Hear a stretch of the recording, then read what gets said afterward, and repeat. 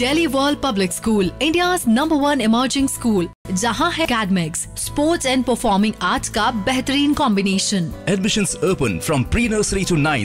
देखिए लॉकडाउन 4.0 शुरू हो चुका है लॉकडाउन 3.0 जो है वो रविवार को खत्म हो चुका है सोमवार का दिन है और सोमवार के दिन के साथ ही जब लॉकडाउन 4.0 की गाइडलाइन आ चुकी है लेकिन राज्य सरकार की ओर से भी गाइडलाइन आना बाकी है जिसकी उम्मीद ये की जा रही है कि सोमवार देर शाम तक राजस्थान सरकार की ओर से लॉकडाउन 4.0 को लेकर गाइडलाइन आ जाएगी। लेकिन केंद्र के आदेश के मुताबिक पूरे देश में इकतीस मई तक लॉकडाउन लग चुका है। ये पांचवा लॉकडाउन है जो पूरे देश में दोबारा इस बार लागू हुआ है।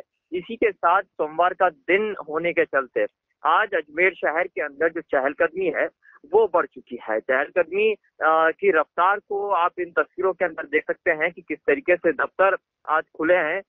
बैंक्स और जो प्राइवेट क्लिनिक और हॉस्पिटल्स हैं उनके बाहर बहुत लंबी लाइनें लगी हुई हैं।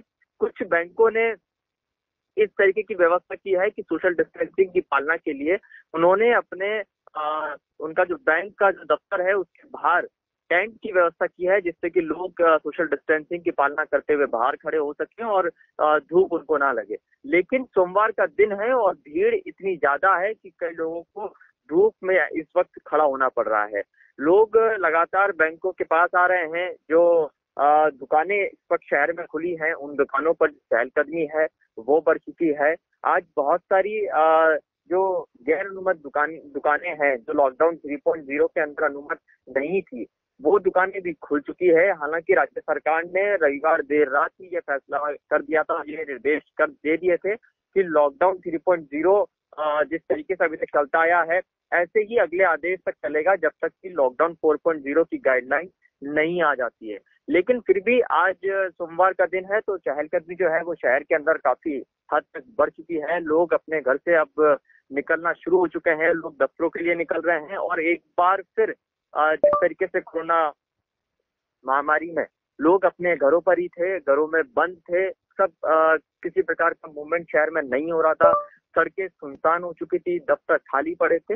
लेकिन आज सोमवार का दिन है और तमाम कंपनियों ने अपने यहाँ पर 33 परसेंट स्टाफ और उससे कई कंपनियों ने थोड़ा सा कम स्टाफ भी बुलाया है। लेकिन आज से कई स्टोर्स, कई जो दफ्तर हैं, वो शुरू हो चुके हैं और अब ये उम्मीद की जा रही है कि लॉकडाउन 4.0 जब देर शाम तक आज आएगी तो उसके अंदर कई और रियायतें भी मिलेगी, जिसके बाद ये उम्मीद की जा सकती है कि जो इलाके ग्रीन और ऑरेंज जोन में है, वहाँ पर मूवमेंट काफ़ी हद तक गतिविधियाँ जो है, वो शुरू हो जाएँगी।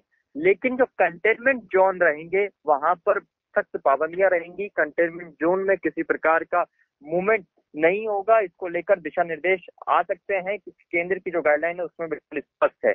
मंदिर मंदिर और जो मस्जिद है, जो धार्मिक स्थल है, उसके साथ साथ जो जिम होटल्स मॉल्स और जितने भी दूसरे जो गैर अनुमत सेक्टर है, वो किसी प्रकार से नहीं खुले हैं, वो अपनी पालना इस वक्त पूरी गाइडलाइन की कर रहे हैं, लेकिन शहर में फिर भी जिस तरीके से रेड जोन में थोड़ी रियायत गहलोत सरकार ने दी है, उस रियायत के चलते लोगों का मूवमेंट जो है, वो अब बढ़ने लग गया है, लोगों की चहलकदमी बढ़ने लग गई है।